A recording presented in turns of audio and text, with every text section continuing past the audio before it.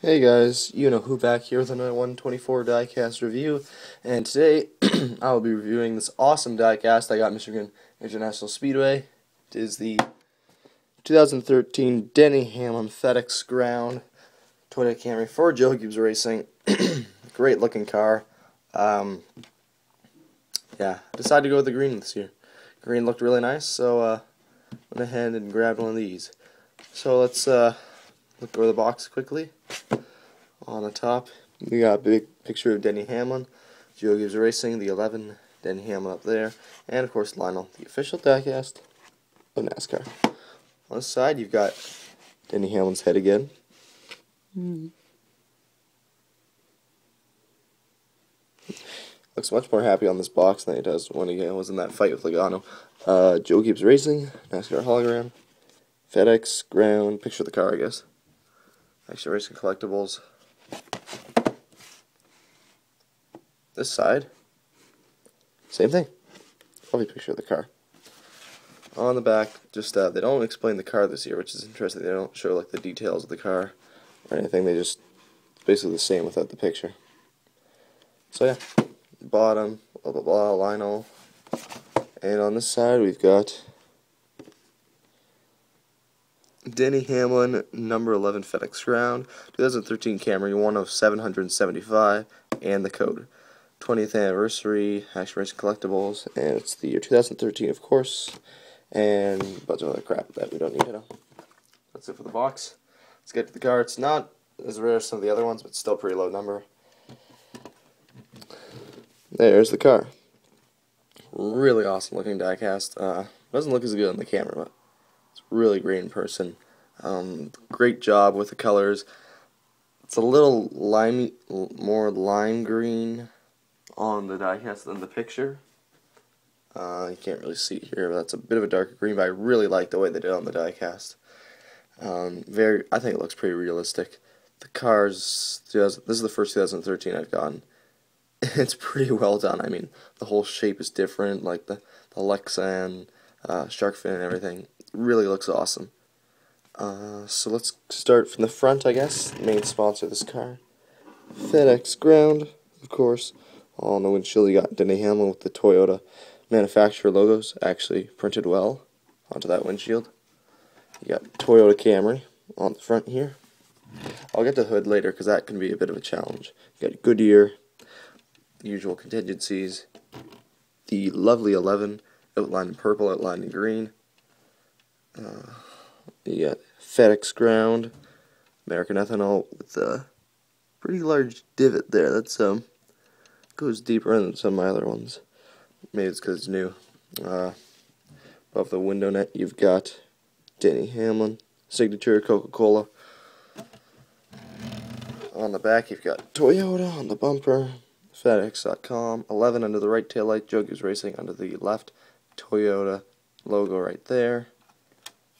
Open up the back. It's a little uh, less uh, give, I guess, now. They're not as uh, finicky. Can't open up them like all the way or a little bit. There's like a certain amount that snaps open to almost every time. So, pretty cool looking car. Let's see if you can see in there and see the fuel cell. There it is. Looks very nice. And just sort of snaps closed. Very nice. Lead on. We've got the lovely DIN. I always love checking the DIN. Mine is 548. So a pretty high number for 775.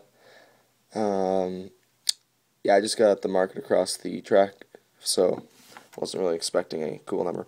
We got FedEx ground the deck lid. The front of the spoiler is green, while the back is black.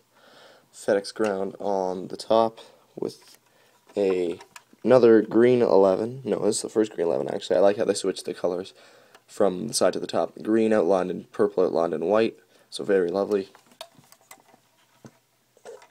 Right side, same as the left. The lovely little uh, sparks, I guess you can say, whatever. I like when they add that to the car. They really made it look nice when they had the new uh, front uh, splitter. That's when they added the whole and all that. So it looks really cool. Uh, one thing they've added this year for the new cars is not only front suspension, but back suspension very detailed in the back. So it can really be all shifty and stuff. You can see on the bottom here. Uh, these rods right here sort of come back as I push down. Really cool diecast. Um, looks really nice on the bottom too. You got the little 20th anniversary sticker right there. Um, very well done. And now I'm going to attempt to open the hood. Um, oh, steady. Attempt to open the hood, you know, it's it could be a little challenging. Times sometimes I start from the back, sometimes I have to go to the front. Uh, oh, come on, please. Remember the last time I did a Denny Hamlin uh, review, I didn't even get the hood open. I was too la I was too lazy, so I don't want to disappoint you this time. There we go. So you got what you gotta do is actually count the instructions. To just show it, pop it open a little bit, then you sort of gotta like pull it out. Mine's got a little trouble with that, so I pull it a bit. Then what I do is I put my finger back here and I push it out farther on each end because this one, this end has a little trouble going forward, and then I lift it up as far as I can. For the most, oh, now I can't. For the most part, I could usually get there, and I was like, what the heck? And I figured it out, and I got it. So it opens up to that, and that is as big as it can open. Trust me, I've tried really hard to open up more more than that, and it's just. I think maybe different brands it opens up a different amount, uh, different you know space, but that's much more open than I had it previously. So I'm glad I figured that out. Just a little tricky to get open, but cool. I like the new uh, lids they added. It's like another feature of the car that they've had this year. Uh, inside you can see the engine sort of. Not, it's really hard to see. That's the problem. You can't really see any of the TRD engine. Very dark in there. Uh, and under the deck lid, you've actually got FedEx Ground and Toyota. There you can see them. And so just to close it, you push down the front like that. Then you push forward like that. And that's still open here. You just tap it down. It just went all the way closed there, so that was nice.